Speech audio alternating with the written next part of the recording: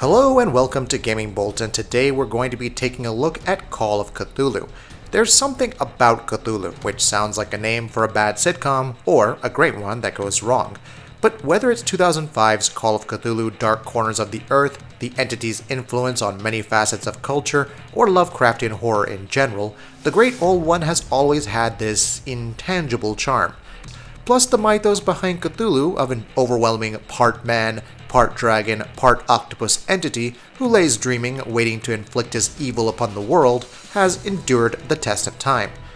The original The Call of Cthulhu short story is interesting because of how it plays out. Lovecraft's brand of horror wasn't about cheap thrills or jump scares, it was about the horrifying unknown. Humans dealing with things they can't possibly understand. More than anything else, it laid the groundwork for the Cthulhu mythos, expanding upon these horrifying entities and the consequences of their actions.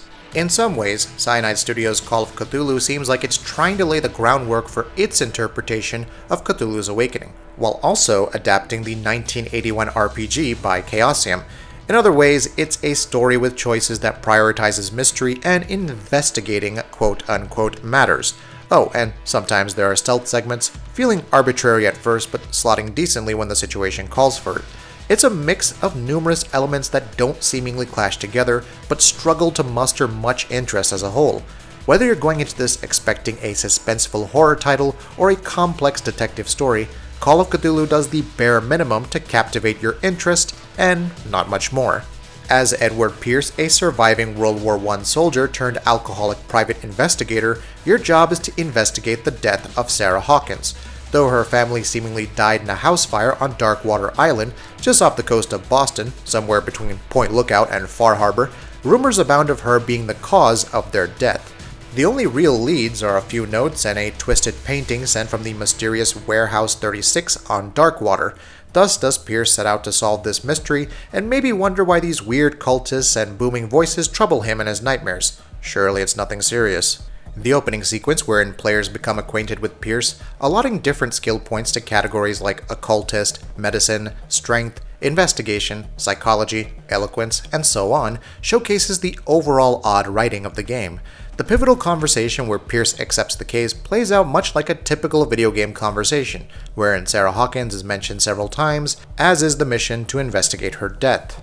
As time goes on, you'll discover other odd bits, like dealing with the threatening Silas while Officer Bradley waits off to the side, waiting for your prompt. Yes, this is all probably nitpicking, but it was weird.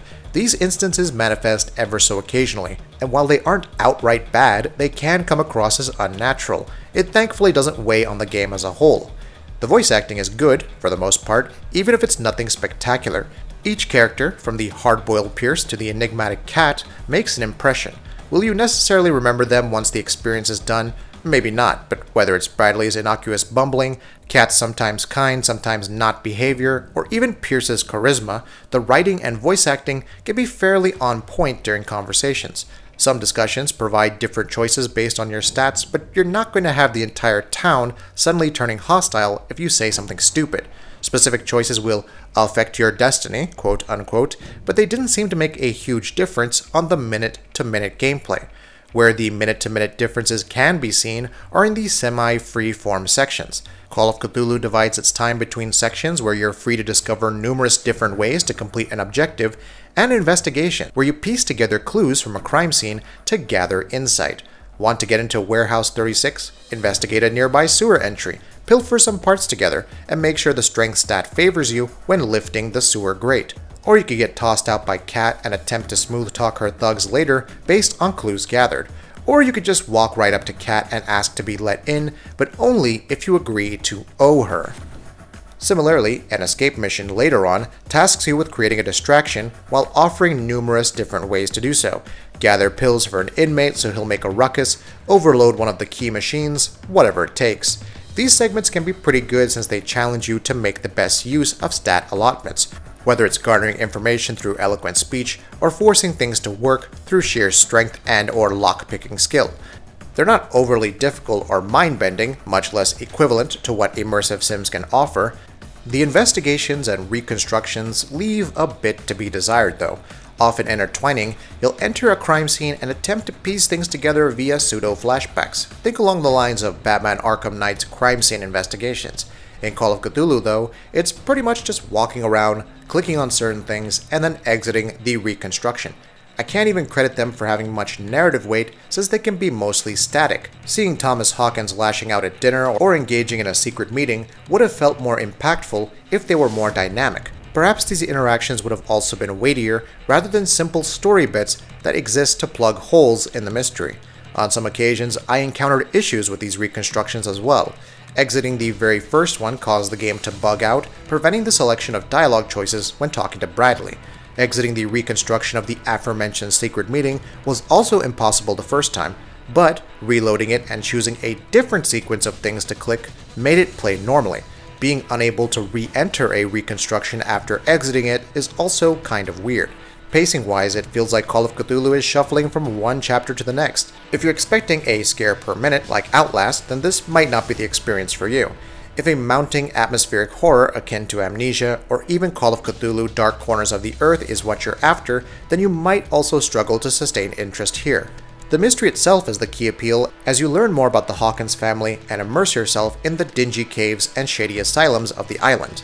There's some kind of noir appeal to it all as the trenchcoat wearing Pierce investigates matters, trusty lighter barely illuminating the environment. Elements of horror can definitely be found, but for all intents and purposes, you'll be doing a lot of investigating and conversing with different NPCs. Mind you, the revelations aren't exactly crazy, and the overall storytelling isn't helped by the non-in-game cutscenes, which seem to be of lower quality than the actual gameplay graphics.